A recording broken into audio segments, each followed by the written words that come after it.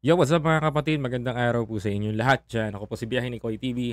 And uh, second day na nga po mga kapatid ng COC filing ng mga kandidato o kakandidato sa 2025 midterm election mga kababayan ko. Andito nga po mga kapatid, number one sa listahan na natin. Kanina nga po nag-file na si uh, Senator Amy Marcos na kapatid po ni Pangulong Ferdinand Bongbong Marcos ng kanyang uh, Certificate of Candidacy bilang uh, re-electionist ng pagka-senador uh, dito po sa ating bansa.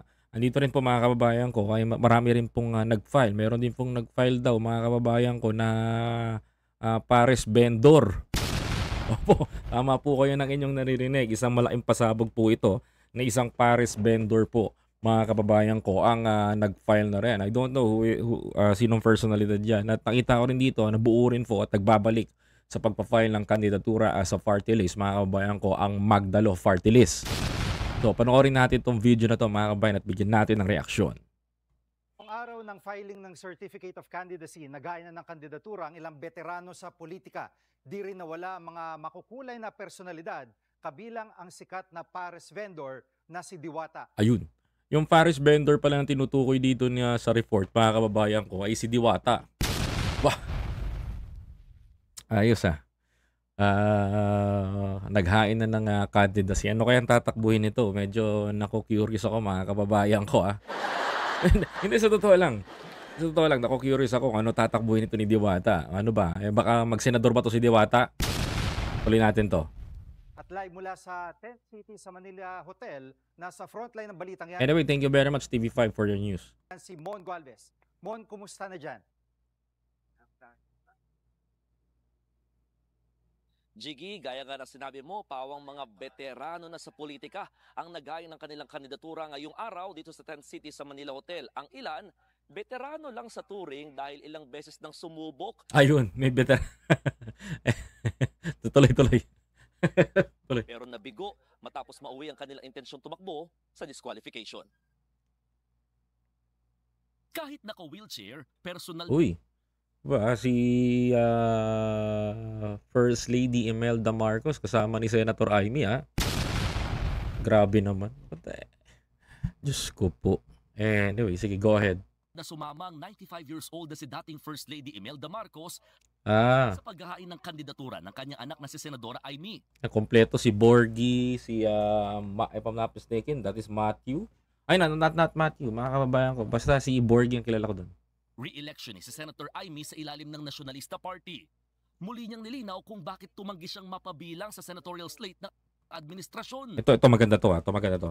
Tumanggi si uh, Senator Amy Marcos na mapabilang sa senatorial slate ni Pangulong Bongbong Marcos. Sinagot niya rin dito kung bakit ayaw niya. Eh, we don't know. Malalaman natin yan. Alamin natin.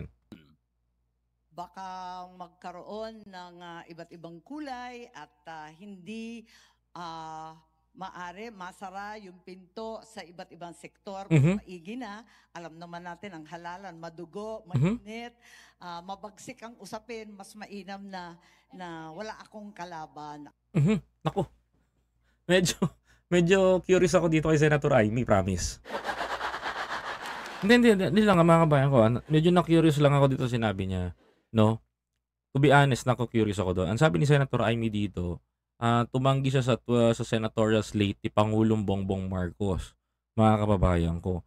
Ang sabi niya, ayaw niyang maisarado ang iba't ibang sektor o koneksyon mga kababayan ko because I know I, I know mga kababayan ko that Senator Amy Marcos nag-establish ito ng uh, koneksyon sa mga dat sa mga dating administrasyon, nag-establish to ng connection doon sa mga uh, dati niyang kasama na Dilaw, pula, ano pa man yan, mga kababayan ko. Pero, ang isa sa pinaka nagugulo no kay Senator Amy, andun ka na sa, ano, andun ka na sa senatorial slate ni Presidente. That is very, uh, very sure win, mga kababayan ko, na may malaking boto kang makukuha. Pero tinanggihan ni Senator Amy Marcos, for the, the reason kung bakit niya tinanggihan, mga kababayan ko, is, ang katwiran niya is eh, hindi naman hindi naman kailangan na ano, hindi naman daw parang ang dating nito eh natatakot siyang mawalan ng boto sa mga siguro sa mga DDS kasi We know naman mga kababayan ko na laki talaga to sa mga Duterte. Hindi totoo. Totoo lang ako mga kababayan ko ha. Alam alam naman natin na ano, eh, alam naman natin na laki to sa mga Duterte talaga. Eh, ako lang, ha, totoo lang ako. Ha. Liwanagin lang natin, oh. Ito lang ha. Pakinggan niyo to. magkaroon ng ah, iba't ibang kulay at ah, hindi ah, maari masara yung pinto sa iba't ibang sektor mas maigi na alam naman natin ang halalan madugo ma- Yeah, yeah. Yeah, alam natin madugo ang halalan. Madugo talaga at ta- talagang ah, talagang magulo. Pero maraming patutsadahan so whatsoever. Ang hinahanap ko lang dito kay Senator Amy Marcos mga kapatid is parang ang dating nito is walang paninindigan nito sa kanyang kapatid. Hindi, ah, hindi, sorry to say, ah, sorry to say. No? Pasensya na, ah, pasensya na, pero totoo lang ako, no? Hindi ko nakikitaan ng ah, pagkakataon, mga kababayan ko na itong si Senator Amy Marcos ay ah, so solid o tutulong sa kanyang kapatid. E, ito pagpapakita lamang na si Senator Amy is open sa lahat. Subalit, hindi kahit kapatid niya, mga kababayan ko, ay kaya niyang tanggihan, mga kababayan. That, that's, the, that's the reality, yung narrative na nakikita ko dito. Yung pagsasarado ng iba't ibang ah, sektor, it's very normal, mangyayari at mangyayari talaga yan. Pero mga kababayan ko, pero, pero, pero, makinig po kayo. Pero mga kababayan ko, darating talaga sa punto na magsasarado yan kasi alam ng tao na kapatid mo si Bongbong Marcos. Kung magsasarado man yan, that is the choices ng taong bayan. Hindi mo mapiplease. Well, kung ano yung ginawa mo ngayon, kung ano yung pinakita mo sa mga ta sa taong bayan, sa mga Marcos loyalists, makikita natin yan if mananalo ka sa darating na halalan. Tuloy. init ah, mabagsik ang usapin mas mainam na na wala akong kalaban Hindi, hindi, no, no. no hindi hindi mo pe pwede na mabagsik na ano, at wala kang kalaban, Senator Jaime. Marami na kayong kalaban. Yun ang totoo doon. Hindi naman sinagot ng senadora kung bukas siya sakaling i-endorso ni Vice President Sara Duterte na isa sa kritiko ngayon ng administrasyon. Nako, Senator Amy Marcos. Pag inendorso ka nito, yari ka lalo. Hindi, sa totoo lang. M- 9% ang binaba ng trust rating ng ah, vice presidente. Kaya kung i-endorso ka pa nito, ligwak ka, yari ka diyan. Kung ako sa'yo, eh, di na magpapa-endorso dyan. Mali- malilintikan yung karir mo. Sa totoo lang. Sa kritiko ngayon ng administrasyon. Ang party list group Ito ah. Ito pinakamaganda, mga kapatid. Ito pinakamaganda sa lahat. Muli pong nagbabalik ang Magdalo Party List sa Kongreso. Mga kababayan ko. Ako po, bilang isang ah, taga-suporta nitong mga tao na to, tama na po na itama natin yung mali. Itama na po natin yung pagkakamali ng kahapon, mga kababayan ko. Muli pong tatakbo under by Magdalo Party List, mga kababayan, ang ah, sila Gary Alejano at ang kanyang mga kasama. naman na Magdalo, kasama pa ang mismong founder nito na si dating Senador Ayan, dito rin si Mayor Sani. Antonio Trillanes, naghain din ng Certificate of Nomination and Acceptance. Ayan na. Sakaling pala rin, plano nilang maghain ng impeachment complaint laban kay Vice President Sara Duterte. Yari ka. well, mga kababayan ko, in behalf of my uh, in behalf of my channel, mga kapatid, in behalf of my channel, ako po'y nananawagan sa inyo, mga kapatid. We are now ah, the our ano subscription natin, mga kababayan ko.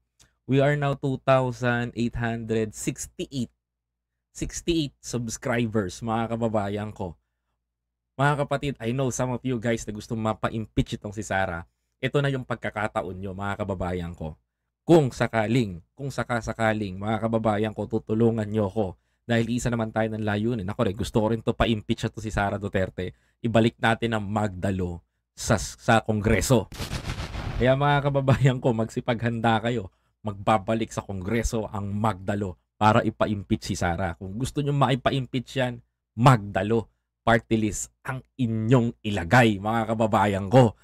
Eh wala na tayo pag-uusapan dito. Meron nang magpapa-impeach kay Sara kung gusto nyong manalo, yung ah, gusto nyo talaga mapa-impeach yan, eh, magdalo ang iboto nyo. Yun lang yun.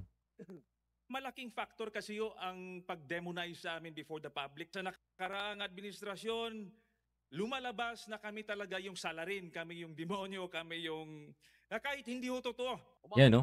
Mga kababayan ko. Totoo yan, sinasabi ni Gary Alejano. Actually, I was one na talagang bumanat din dito. Well, I'm very thankful na si Sir Gary Alejano is bumabalik for uh, sa ating ano, sa ating uh, uh, kongreso, no? Mas kailangan to ngayon. Pero pero wag wag ka na sana dumikit sa mga dilaw, Sir Gary. Para hindi ka na madamay ulit sa iba. Nadamay kayo because ang taong bayan galit sa dilaw. And sa hopefully sana no, magkaisa tayo because uh, our mission and target on 2025 na before 2025 mapa-impeach tong si Duterte. Mga kababayan ko. Tuloy. Kaya sana po eh, well, I, hope sana na magawa natin to by before before I think before January uh, uh, maybe on January masubukan natin mga kababayan ko. No. Anyway, And that is our vlog for, for, for this morning. Maraming salamat po sa inyo. Ako po si Biyahe ni Koy TV. No, Magdalo Farty List. Isasama natin sa balota to.